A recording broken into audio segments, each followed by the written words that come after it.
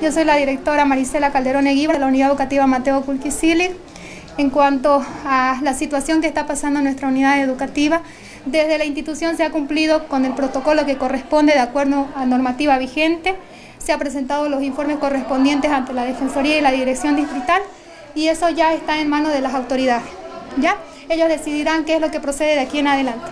Es todo lo que en cuanto puedo informar. ¿Qué va a pasar con el profesor, señora directora? Es todo cuanto les puedo informar ya como dije, ya está ante las autoridades competentes y ellos son los que deciden de aquí en adelante. ¿ya? ¿Está ocultando algo en este caso? No, de ninguna manera. De ninguna manera todo se está desarrollando como corresponde, como se ha trabajado siempre de la forma transparente, con estudiantes, maestros y padres. ¿ya?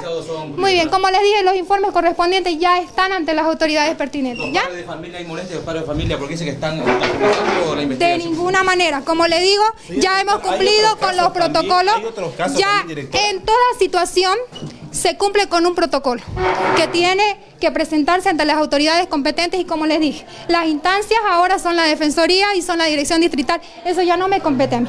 ¿Ya? ¿El caso del Con permiso. Roberto en qué queda?